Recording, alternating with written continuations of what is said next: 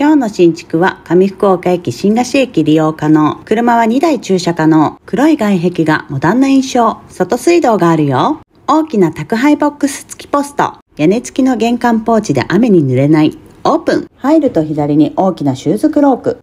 靴や小物をたっぷりしまえる可動棚にコート類をかけられるハンガーパイプ。シューズボックスもあるよ。さらに嬉しい上がってすぐのホール収納。隣にはトイレ、窓付きで明るいよ。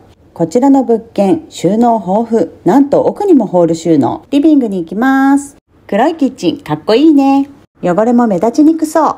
天井も木目調でかっこいいよ。食洗機があるので家事時間短縮。3口コンロ、スリムなレンジフード。キッチン横にはパントリー。LDK は16畳。3方向に窓があって明るいよ。ダウンライトもついてます。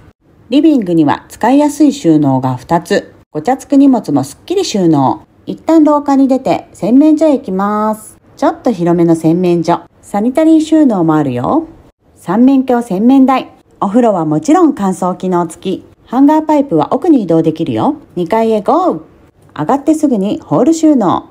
とっても明るい2階のホール。2階のトイレも窓付きウォシュレット。収納もあるよ。最初の部屋は6.3畳洋室。南に面した明るいお部屋。次のお部屋は5.3畳。